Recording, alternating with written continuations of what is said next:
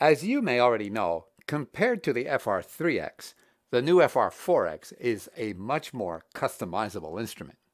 For example, as I demonstrated in a previous video in this YouTube channel, I can easily configure each register button within any of the factory sets to activate any of the instrument's orchestral tones that reside within its internal sampled sound library, which on a new instrument consists of 179 tones.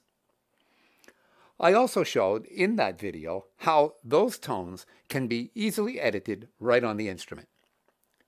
In the video instruction that customers receive free from Roxy's when they purchase a new FR4X, I expand on that by showing how you can make orchestral configuration and editing work made within one set apply to any other of the instrument's standard sets, thus making the selection of tones on the instrument both to your preference and consistent from set to set. I also describe in that instruction how you may want to keep the orchestral configuration of some sets unchanged from Roland's originals to comply with the particular genre of music that those sets represent. Of course, Roxy's will, if you wish, install for you the well-known Richard Noel add-on user program banks, which will make the selection of orchestral tones for playing certain genres of music more convenient. Richard Noel's work is very respected in the V-accordion community. Roxy's can also install for you the standard orchestra and alpine sampled sound expansion modules. But in this video, I want to talk about the instrument's accordion sounds. When you first turn on an FR4X, fresh from the factory, without making any selections of any kind, you get the following reed sound.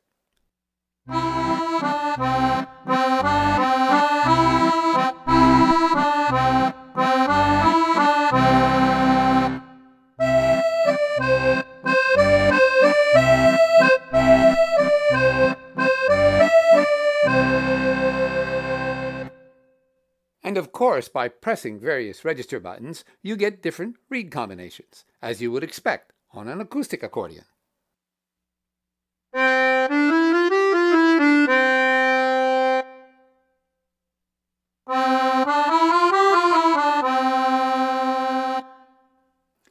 Although these accordion reed sounds seem perfectly acceptable to me, some people claim that they are in need of revoicing, which must be done using Roland's set editor software. Of course, music is a subjective art form. Give two accordionists some money and send them into an accordion store, and they will both come out holding a different model. And each of them will claim that theirs sounds better than the other.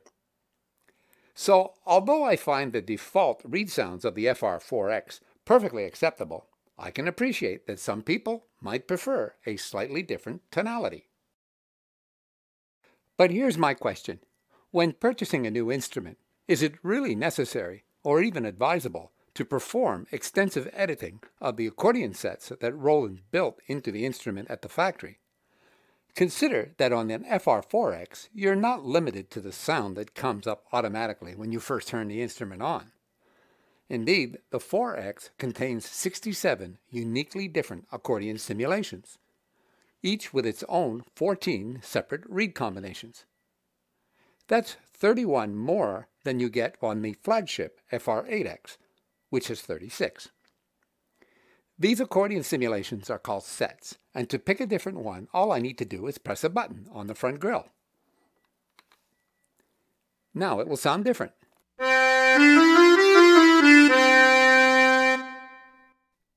And now it will sound different again. So, it seems to me that before doing extensive editing on any of your instrument's factory-installed accordion sets, it makes more sense to audition the ones that the instrument already has. Don't you think? Another aspect of this is that Roland has designed the accordion reed sounds of certain sets with purpose in mind. For example, the set that comes up by default on a new instrument contains certain reed combinations that help demonstrate particular capabilities of the instrument. Sets in the range 002 through 019 are designed with certain genres in mind. Others, like 020 through 048, are designed to have standard reed combinations that you would typically find on full-size acoustic instruments, and so on. At Roxy's, we help you realize the organization of your instrument sets by providing 67 reed combination charts, one for each and every factory set on the instrument. In addition, the FR4X provides 33 extra accordion set locations for the express purpose of holding user-modified reed sounds without having to lose the reed sounds in any of Roland's original factory sets. Considering all these facts, you may decide that it is not even a good idea for you to revoice the reed sounds on your instrument's default startup set. And if all you really want to do is to have your favorite accordion reed sounds come up automatically when you first turn the instrument on, you can easily specify that in an appropriate internal parameter. Again, I want to emphasize that I am not trying to discourage you from optimizing reed sounds on your instrument. I'm simply trying to put into realistic perspective the need for doing so when purchasing a new instrument, before you even know what sounds the instrument already has. To help you realize that an FR4X from Roxy's does indeed contain accordion reed sounds of sufficient quality to satisfy your needs, I will play for you the beginning eight measures of the simple song My Bonnie 67 times, each time using the same reed combination from a different one of the FR4X's 67 factory sets. Even with those few notes, the complete audition demonstration is quite long, over 12 whole minutes. However, it will allow you to hear the complete range of accordion reed sounds that you get on an FR4X in at least one reed combination. To do the same for all reed combinations would require 2 hours 48 minutes. Sorry, that's too impractical. So that you don't waste your own time, listen on quality headphones, not computer speakers. In the audition demonstration that follows, I provide certain on-screen information as I navigate from set to set. I show you the instrument's LCD display, as it would appear to you if you were performing the very same audition on the instrument yourself.